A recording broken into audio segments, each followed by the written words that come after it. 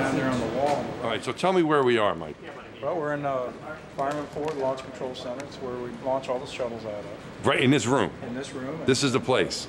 this is my console here, the launch director's console. Launch director, there's Ray J holding up your sign there. Launch, right here, this is where you sit. Worked with all you guys. When I talk Right. to you guys, it's from this console here out to the You talk on the pad. phone? Or you got, you got a little headset? Don't you got your headset talk on? a little Okay. headset. you Okay. know. All right. Um, got the test test director and test conductors down here. All right. And then all the, all the system engineers out on the floor of the fire room, all the main propulsion guys and fuel cell guys, all the system engineers are out on the floor. Okay. And they all we report see. up through a test conductor, to a test director, and Yeah. and ultimately to me. All right. Okay. And then this bubble over here, the room on the left, that's Yeah. a mission management team bubble. Uh, Yeah. Mike Moses now, nowadays, and, and his team. Mm-hmm. And then the bubble over here is the VIP area for our administrator and center directors, and Bryan O'Connor, head of safety. And, uh, VIPs essentially sitting there and watching it. Okay. And the launch pad is out there. Let's see if I can get it. I'm having trouble focusing on that it thing. almost has to be shoulder All right, there it is. Okay. All right, I've got two questions for you, Mike. One is, is that I notice when you're sitting there, your chair is this way, and all your displays are over here, facing this way with a room, and all, but the spaceship is out there, the opposite direction. What's the story? Shouldn't you be looking out there? As a, or do you do you flip around? Or you like make the call and then out there when, when you don't want the guys, guys to be distracted? What's the story? When you guys lift off, I watch you go. Right? Yeah. I, I, I watch the, the launch. So you But do no, turn I'm around. concentrating over here. I'm, I'm watching my displays. But you don't want anyone else to look. Is that what the sto- they you want them to? kind- No, is there a reason for that? Because you want them looking at their displays. You don't want them looking at the big fireworks going on over Of here. course, or- right, right. Okay. them concentrating on the on the on the displays. Okay. And then uh, no, the last the last five minutes, last nine minutes of counter, so, I'm watching my displays, watching the various Okay. you know parameters on board the shuttle come Right. by and APU Okay. startup and you know all that stuff, and pressurization of the tanks.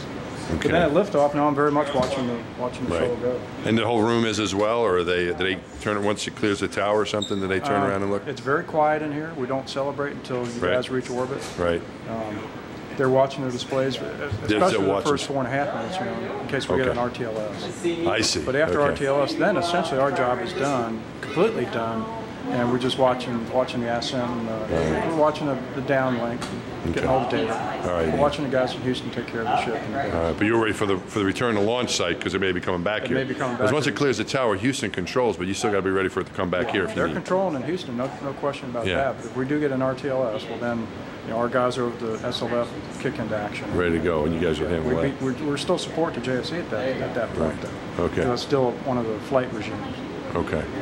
Interesting. And my and my last question for you, Mike, where's the big red button at you? Since you're the launch director, you get to hit the button, right? Is there? There is no big red There is button, no is there? red button. You have a small red button. I saw this one here, and I thought, well, maybe this is it. No, that's not it. But Mass, so- come on, man. That ain't it. It's all, but you know, for the people watching, it's all computer control. all computer controlled, but uh, every one, every one of the engineers in the room and, and Right. test conductors and test director and myself, we can we can stop the launch all the way down to T0 if we had to, Right. with a manual call. We Right. always have that capability for the human intervention if we need it. Yeah. Hasn't happened. Hope it doesn't happen. But, but the theory is, you know, the, the ground launch sequencer here is mimicking the, the redundant set on board the orbiter. As long as they two stay in sync, we haven't violated any LCCs. You guys are gone. Yeah. And this is a pretty cool job. You love it. I know we talked about this before. How much you love what you do. Yeah. Did you did you did you think you'd be doing this when you were a little kid? Did you No. play like with? No, You know, did you, yeah. Got Charlie over there. Did you play like play with uh, b- uh, little the model rockets when you were Model kids or anything? Did you? Was there anything? No, Did, no, no. I was a Virginia boy, you know, and just got really, really lucky in my career. And always been interested in space and space travel. Yeah. And uh, no, I just got really, really lucky. Yeah. It's as simple as that. Well, we've talked about this before too, and, and how as astronauts we're very grateful that we have you folks here looking out for us and making sure that it is the right decision to to go. And uh, I know it's a very serious, We have fun, but we take a very serious job. I mean, it's a fun job, but but there's a lot of responsibility. No, you guys aren't going to fly unless we're 100% convinced it's ready to go. The only thing you might need for visibility is to clean up some of the bird poop that you have on the window here. That's a that's one of our preps for launch. Is that that's what it's, you got to get a guy to clean? You probably want to wait until right before launch. Launch mine is one week. Because these birds, you know, they, they, yeah, they'll, yeah. All right. Well, thanks for letting us in here, Mike. This is quite a treat to get a chance to come in. Thanks, thanks for having us. Sure.